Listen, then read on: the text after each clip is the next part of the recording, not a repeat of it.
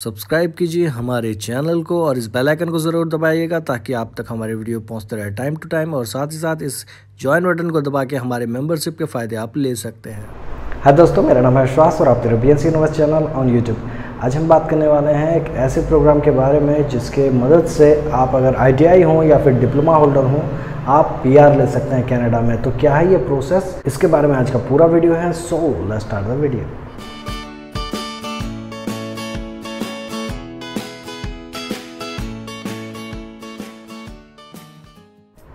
सबसे पहले अगर आपको बताऊँ कि कई सारे लोग ऐसे हैं मेरे सब्सक्राइबर जो कि आईटीआई हैं, डिप्लोमा होल्डर हैं, बीई हैं, लेकिन उनको कनाडा में पीआर चाहिए, जो कि काफ़ी ज़्यादा डिफ़िकल्ट हो जाता है क्योंकि जैसे आप सबको पता है, पीआर सिस्टम जो है पॉइंट बेस्ड है और पॉइंट लाना उतना आसान नहीं होता। तो जो लोग आईटीआई हैं, खास करके या फिर डिप्लोमा होल्डर हैं, जिनके लिए कि पॉइंट में स्कोर करना बहुत ज़्यादा मुश्किल है क्योंकि उनकी एजुकेशन काफ़ी ज़्यादा कम है तो आयल्स में वो चाहे कितना भी स्कोर कर लें या फिर एक्सपीरियंस उनके पास कितना भी हो, क्योंकि उनकी एजुकेशन कम है तो बहुत ज़्यादा डिफ़िकल्ट हो जाता है कि उनको पीआर मिले। तो ऐसे कैंडिडेट्स के लिए ही एक एग्ज़ाम बना है, जिसे कहते हैं रेड सिल एग्ज़ाम जो कि अगर आप क्लियर कर लेते हैं देन आप पीआर ले सकते हैं कनाडा में। तो ये एक ऐसा प्रोग्राम है, जिसमें कि आपको ऑनलाइन फॉर्म भरना होता है। ऑनलाइन फॉर्म भरने के बाद अगर आप सिलेक्ट होते हैं देन आप जो है कनाडा विजिटर वीज़ा पे जा सकते हैं और विजिटर वीज़ा में जाने के बाद आप फिर वहाँ पे रेड सेल एग्ज़ाम दे सकते हैं। अगर आप रेड सेल एग्ज़ाम क्लियर कर लेते हैं देन आप वहाँ पे ट्रेनिंग ले सकते हैं। ट्रेनिंग जो ट्रेड की आपने एग्ज़ाम दी है, उसी ट्रेड की आपको ट्रेनिंग दी जाएगी कैनेडियन स्टैंडर्ड पे। और फिर वो ट्रेनिंग लेने के बाद आप पीआर के लिए एलिजिबल हो जाते हैं। जैसे आपको कोई भी प्रोविंस एक्सेप्ट कर लेता है देन आप उस प्रोविंस में पीआर के लिए अप्लाई कर सकते हैं और उस प्रोविंस में आप पीआर ले सकते हैं। तो ये एक बहुत अच्छा चीज़ है, लेकिन आपको एक एग्ज़ाम देना पड़ेगा। कोई भी चीज़ फ्री में या फिर सेटिंग से नहीं हो सकती। हर चीज़ की एक कीमत होती है तो इस पीआर लेने को आपको करना पड़ेगा मेहनत एग्ज़ाम के थ्रू से।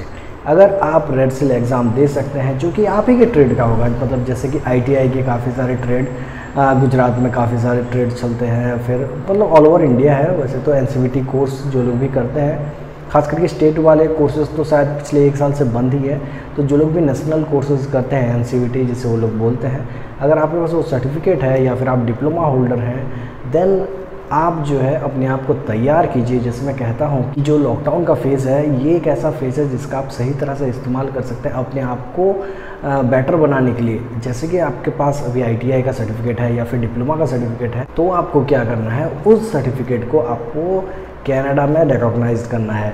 आपके पास जो सर्टिफिकेट है, वो इंडिया में भले ही चल जाता है बट कनाडा में अगर आप पीआर लेना चाहते हैं देन आपको इसलिए रेड सिल एग्ज़ाम देना पड़ेगा। इसके लिए ज़्यादा कुछ नहीं। अगर आपने आई पास किया हुआ है देन आप ये भी पास कर सकते हैं। थोड़ी सी इंग्लिश लैंग्वेज के ऊपर आपको काम करना पड़ेगा, क्योंकि कोई भी एग्ज़ाम वहाँ पे आपके लोकल लैंग्वेज पे नहीं होगा।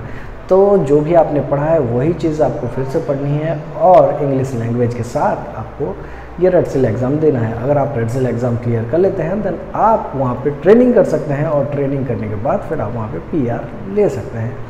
सुनने में काफ़ी आसान लगता है, पर उतना आसान है नहीं। रेड सेल एग्ज़ाम देने के लिए आपको जो वेबसाइट देखनी पड़ेगी, वो है डब्ल्यू सी ए इसमें आपको जाना है, वैसे मैं नीचे डिस्क्रिप्शन में भी लिंक दे दूँगा, आप उसे चेक कर सकते हैं। वैसे आपकी स्क्रीन में भी डिस्प्ले हो रहा होगा। इसमें आपको जाना है, इसके बारे में पूरा डिटेल आपको पढ़ना है देन आप ऑनलाइन एप्लीकेशन कर सकते हैं। ऑनलाइन एप्लीकेशन करने के बाद अगर आपकी प्रोफ़ाइल सिलेक्ट होती है, तभी आप जो है ये एग्ज़ाम दे सकते हैं। हर प्रोविंस में इस एग्ज़ाम की अलग अलग फ़ीस होती है। तो आपको ये भी देखना पड़ेगा कि कौन से प्रोविंस में आपने जो ट्रेड इंडिया में किया है, उसकी डिमांड है।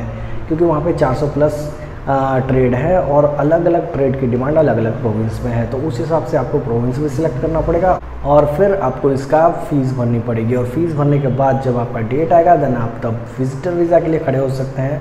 और फिर आप जो है वहाँ जाके मतलब कनाडा जाके आप रेड सेल एग्ज़ाम दे सकते हैं, जिसके पास होने पर आपको पीआर का ऑप्शन खुल जाता है अप्लाई करने के लिए। तो ये एक बहुत अच्छा तरीका है।